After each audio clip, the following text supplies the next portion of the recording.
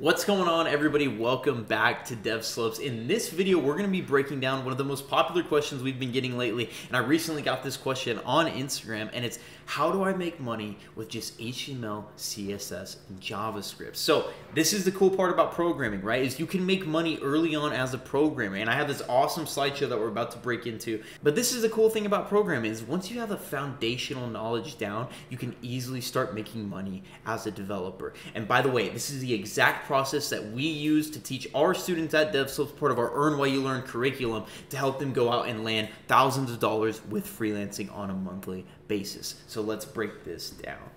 So, how to make money with HTML, CSS, and JavaScript. So the cool thing about programming, right, is you can do this in as little as four months. This is the, the, the time slot that we kind of let our students know. And a lot of the students, they even do this a little bit earlier on, or they, you know, maybe a little bit further. It takes around six to eight months. But regardless, you don't find a lot of skills that you can make money quickly like this. So once you have, you know, a pretty solid foundation of HTML, CSS, and JavaScript, the way you're going to actually go out and get money quickly is by freelancing. Now, keep in mind, you're not going to be able to get a job with HTML, CSS, and JavaScript right out of the gate. Sometimes you can. I, it's very rare that you're going to be able to find, you know, a high-paying salary job with just using HTML, CSS, and JavaScript. They particularly want more skills like React, some backend knowledge, and things along those lines. But it doesn't mean that you can't make money freelancing with HTML, CSS, and JavaScript. And you can make a lot of money on a monthly basis with HTML, CSS, and JavaScript. Now, before you run away with the word freelancing, understand that this is not intense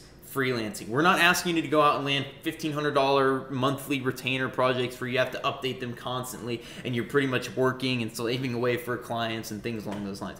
We're not asking you to do that. The projects you're going to be looking for with the knowledge you have are going to be 200 to $1,000 fixed price projects. They're going to be relatively simple and they're going to be one time only projects, meaning once you finish the project, it's done. You, it's a transaction, you get the money, you're good. So what, are, what is this actually going to look like? So we're going to go to site like Upwork, right? Because this is where we put all our students, we help, you know, pay for their credits and things like that. But we're going to go to a site like Upwork and we're going to type in WordPress developer. Now keep in mind, you're not a WordPress developer. We're not asking you to be a WordPress developer. Just understand that you do need to have some kind of foundational knowledge of WordPress and, you know, Squarespace, Wix, and these no-code solution sites which, by the way, are super easy to learn how these sites navigate and function. And if you have four months of legit knowledge in HTML, CSS, and JavaScript, you're going to pick up these skills incredibly fast. So we're going to be typing WordPress develop here because this is where we're going to find a lot of the projects that we're looking for. And if we look at some of these projects, we're going to find exactly what we talked about in that little box. So look, check this out. Website redesign with enterprise content management. So if we click on this project, let's look at some of the things that they're asking for. We're looking for a talented web designer to completely revamp our website. The main objective is to create a modern and visually appealing website with that is user friendly and optimized for mobile devices.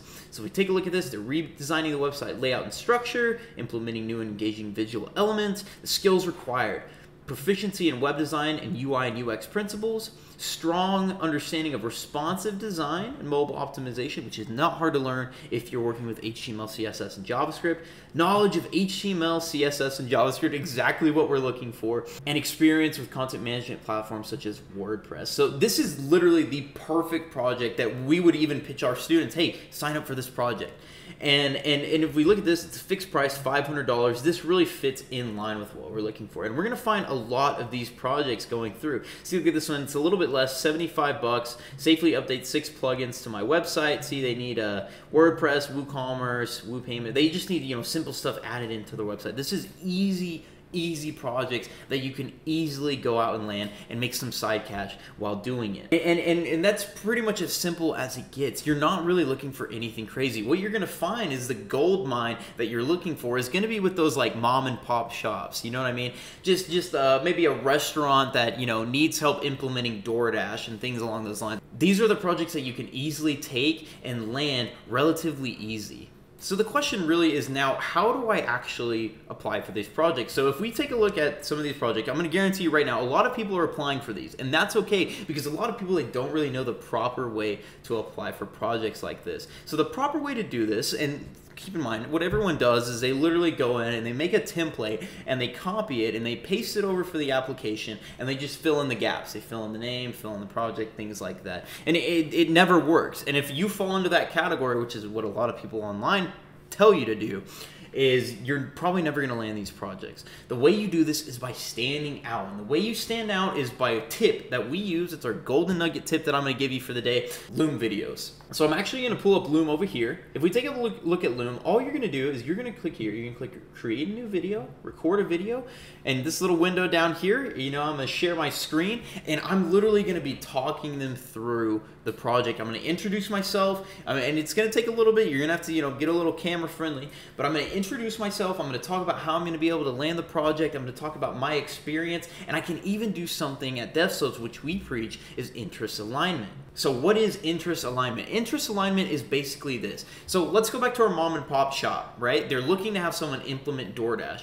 Let's say, you know, I worked as a server for four years prior to learning how to code and learning, you know, the skills I know now.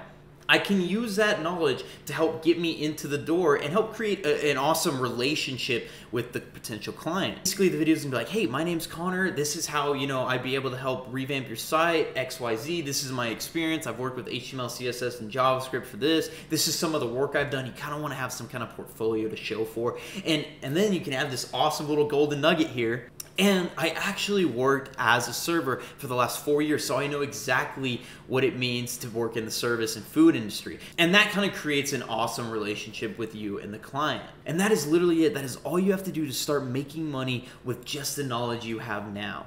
I know this video was relatively short and to the point, but I wanted to keep it that way because it's so cool to be able to learn a skill like programming and make money just four months in. Now, granted, it all depended on how you spend those four months learning. If you're just, you know, going out and learning with tutorials and you're spending like 30 minutes a day, it's probably gonna take you a little bit longer, and that's okay too. But if you're actually putting the time and actually putting in the time into learning, you're gonna be able to start landing freelance projects much, much faster. So that's a wrap for this video, guys. Thank you guys so much for watching. I can't wait to see you guys in the next video, and I will see you guys later.